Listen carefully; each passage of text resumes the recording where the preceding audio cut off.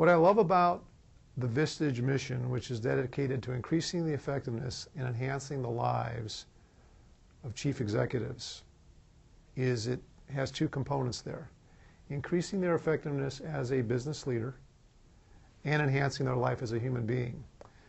And what you really find as a chair is there are very few topics that don't have some aspects of business and humanness combined.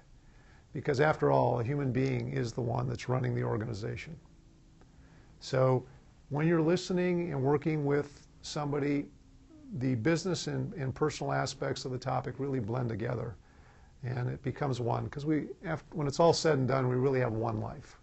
We don't have a professional life and a personal life. We have a life that has different components in both arenas.